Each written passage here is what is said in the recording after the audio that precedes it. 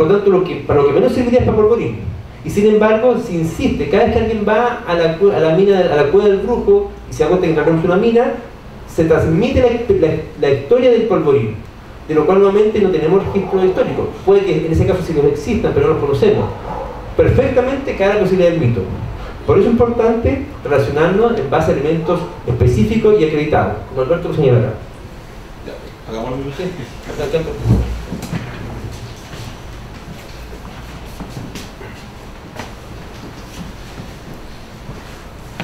Bueno, eh, yo en mi caso específico voy a hablar eh, netamente del tema patrimonial, de cómo articular eh, este proyecto tomando en consideración la guerra civil, ¿cierto? Bueno, el valor que vamos a reforzar en este, en este trabajo va a ser el enfrentamiento armado entre hombres de una misma nación, una guerra entre chilenos que comparten ciertos principios culturales e identitarios. O sea, pese que todavía no está formada la identidad de los chilenos en esta época, todavía existe ciertos parámetros chilenos, ¿cierto? Entonces, ¿cómo vemos que gente que comparte ciertos valores, que, se ha criado en el mismo territorio, que es parte del mismo, de una misma nación, va, va, va a pelear una guerra. O sea, ya eso es violento, ya eso eh, eh, eh, es un punto de vista a reflexionar, ¿cierto? Y de cómo, esta, cómo la nación se va a ir articulando, trae la, la, influencia y las consecuencias de esta guerra. O sea, posteriormente de, de, la guerra y a principios del siglo XX también puede pasar lo mismo, que se comienza a desarrollar una sociedad segregada por alguna idea, por algunas sensaciones que se tiene sobre la guerra, ¿cierto? Que podría, podría ocurrir. Bueno, y el objetivo general de, nuestra, de este trabajo, esta puesta en valor, ¿cierto? Sería generar una instancia de reflexión en torno a la Guerra Civil de 1991 a través de la puesta en valor de, de su hecho histórico y principalmente sería sobre las consecuencias culturales y humanitarias eh, por, medio, por intermedio de la creación de una, de una propuesta museológica, como aparece acá, y también un recorrido patrimonial. Ustedes se preguntarán por qué eh, una propuesta museológica principalmente. Bueno, eh, principalmente porque tenemos un lugar, ¿cierto?, que está identificado por donde pasó eh, este ejército, ¿cierto? También tenemos el espacio para realizarlo, porque tenemos la sociedad, ¿cierto?, con esta, con esta, este, con esta organización, ¿cierto? Y también tenemos material arqueológico, que lo vamos a revisar más adelante, que se ha ido encontrando sobre este tema. Y el tema del recorrido patrimonial principalmente porque eh, la idea es difundir la historia de manera más atractiva porque, bueno, lógicamente se han escrito muchos libros sobre la Guerra Civil de 1891, ¿cierto? Pero recorridos patrimoniales o, cómo acercar esta historia más oficial a la gente no se ha trabajado mucho. Entonces, nos creemos que el recorrido patrimonial puede ser una buena una, una alternativa atractiva para eso. Y también desarrollar, o, sí, desarrollar la memoria histórica de, la, de, la, población chilena a través de aprendizajes, aprendizajes significativos eh, que se pueden llevar a cabo netamente en el lugar que ocurrió lo hecho, ¿cierto? Bueno, eh, como objetivo específico de, esta, de, este trabajo que estamos realizando, primero estaría la recopilación y selección de conocimiento histórico, ¿cierto?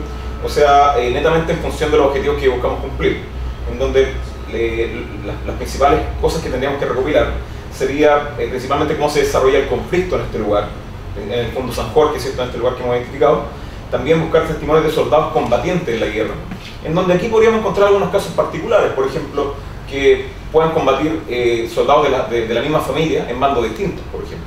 Se pueden, se pueden investigar una serie de casos que podrían dar cuenta de la violencia en, la que está inmersa Chile en esos momentos, ¿cierto?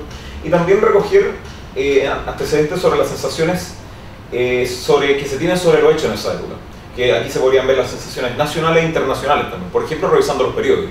En el caso de Chile podrían ser los, los diarios oficiales, ¿cierto? Y en el caso internacional, principalmente los diarios de Estados Unidos y Gran Bretaña, que, tienen una, una, una, visión distinta sobre el conflicto, una evaluación distinta sobre el conflicto. Bueno, otro objetivo sería identificar eh, la o sea, identificar y definir al público al que va eh, a aspirar esta, este, este, esta puesta en valor, ¿cierto?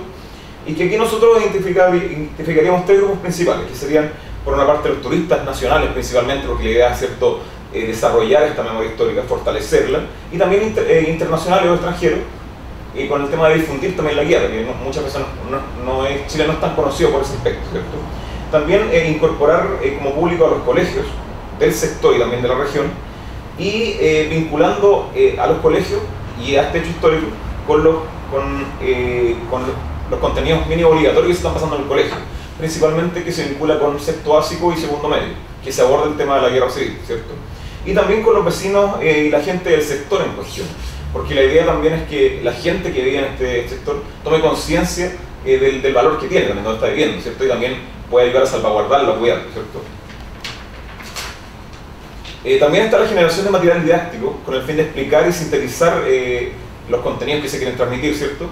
En donde podría estar la creación de típico informativo, la generación de guías de trabajo para los colegios que van a asistir, ¿cierto? Que puedan relacionarse, con, como les digo, con los contenidos mínimos para que lo puedan aplicar en clases, por ejemplo. También la exhibición de, elementos utilizados en la guerra como uniformes, también la arma utilizada, también la exhibición de maquetas, como algo lo marco en su momento, hay, una organización que está haciendo maquetas también, exhibirlas también en esta, en esta, esta propuesta museológica. También eh, presentar, si es posible, más adelante, una, ¿por qué no una, una recreación de la guerra? Tenemos un grupo que está también incorporado en eso. Y también presentar gigantografías eh, con imágenes de la guerra, con las imágenes que están en el archivo, ¿cierto? Y también panel informativo sobre el conflicto histórico, o sea, cómo se desarrolla. Y por último, eh, destacar y mostrar los hallazgos arqueológicos que se han realizado en el lugar. Que acá tenemos, no, no más, más, más, ahí sí, que serían eh, estas cosas que tenemos acá, que serían, eh, aparece un botón acá, que es un botón del uniforme del, uniforme de, guerra. Y también estaría, también estaría una, una vaina de balas, ¿cierto? también se han encontrado varias cosas más. Bueno, ah, también hay, hablando con la gente que ha encontrado estas cosas, que la misma gente, los dueños del, del fondo de San Jorge, que han encontrado estas cosas después de las temporadas de lluvia, porque el, territorio se va erosionando, se va haciendo emerger ciertos elementos que están en la superficie. Eh, también han encontrado bayonetas, han encontrado eh, de, de, la arma y también han encontrado medallas, medallas y monedas también en este sector. Entonces la idea también es mostrar a las personas las cosas que se han encontrado en este sector. Y por último, iremos al tema de fondo, ya que con esto terminamos, que sería la propuesta museológica, la cual estaría basada en, metodológicamente, principalmente en, en, las cartas que mostró Marcos eh, sobre el, el, ICOMO, ¿cierto? que es este Consejo Internacional de los Monumentos y los Sitios, de cómo trabajar esto, y también el enfoque que eh, existe en Chile sobre los museos de la memoria y los derechos humanos, de cómo eh, a través de un, de un hecho histórico se pueden reforzar ciertas cosas problemáticas que, que, que, hay en la población. por ejemplo, cómo es los conflictos históricos van, van desarrollando una, una, dos bandos muchas veces en, en la, en la sociedad creando división al interior de la nación, ¿cierto? Eh, y también eh, esta propuesta museológica se compone de dos elementos que sería la aplicación en el aire libre, o sea, en, el sitio por donde ha pasado este, este ejército, las mismas trincheras que se podrían ir encontrando, y también al interior de la instalación de esta organización eh, del Parque Natural, ¿cierto? Que ahí, por ejemplo, se podrían poner las gigantografías y estas cosas. Y por último estaría la creación de la ruta patrimonial, que transitaría principalmente en el lugar que han ocurrido los hechos, y los hallazgos que, y, también en el lugar donde se han encontrado ciertas cosas. ¿cierto? Y esta consistiría principalmente en, generar un recorrido que tenga tres hitos, patrimoniales, que lo estamos desarrollando todavía, porque como dijo Marco en su momento, bueno, lo tenemos bien claro en realidad, un proyecto que se está desarrollando todavía no, no, tiene una fecha de aplicación todavía. Y también estaría la creación de un guion para hacer este recorrido, ¿cierto? Con el fin de unificar los contenidos que se van a desarrollar en, este, este, trabajo y también aunar cierto enfoque, o sea, ¿qué, qué, se va a trabajar sobre el contenido? Que principalmente sería el tema de la valoración del conflicto como, como violencia, ¿cierto? Con las consecuencias humanas y culturales de la guerra. Y con esto terminamos, yo creo que sería eso, es un proyecto que está en desarrollo eh, y, tiene un valor importante porque, como les digo, voy a aterrizar esta historia eh, más oficial, esta historia más teórica, a la gente, o sea, mostrar a la gente no desde el punto de vista del Estado, no una visión estatal, sino que una visión un poco más crítica sobre la guerra de 1891 recordando que la, historia no solamente está en los libros, sino que también está en lugares, está en la esquina, está en las ciudades. Así que eso sería, muchas gracias.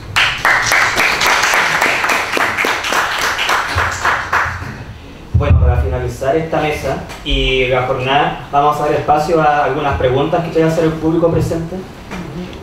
Oye, eh, interesante el tema del, de, la, de la cuesta, el tema del museo, pero me interesa a mí, no soy ingeniero, pero me interesa a mí ver un poco cómo financian eh, este tema de inversión, eh, la gestión que van a hacer, cómo se va a desarrollar, cómo va a crecer el museo, porque no son solamente estas eh, piezas que hay encontrado, sino que pueden encontrar muchas más con una metodología arqueológica.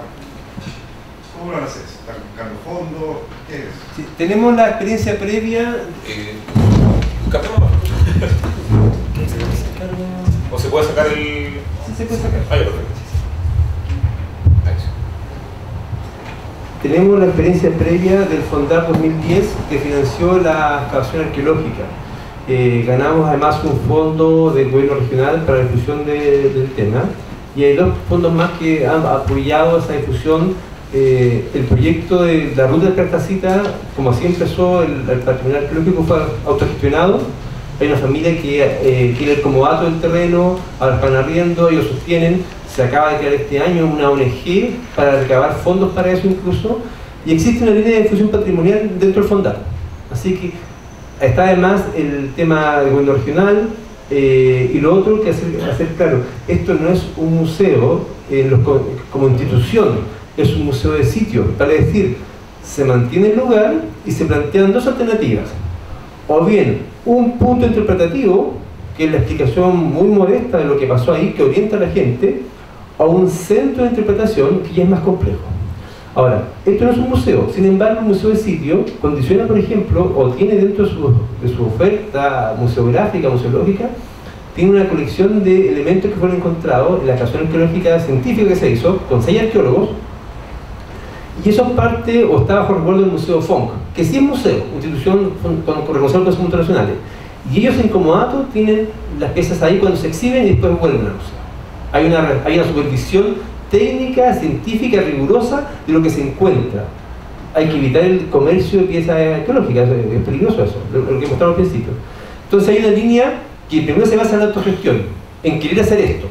Lo segundo es para la infraestructura, para la puesta en valor, eh, como patrimonio hay líneas. Para lo arqueológico hay otra línea que explicaba recién que la del Fondar, y además, desde el punto de vista de la historia, que es nuestra parte, lo que nosotros haremos para esto intervenciado que arqueológico.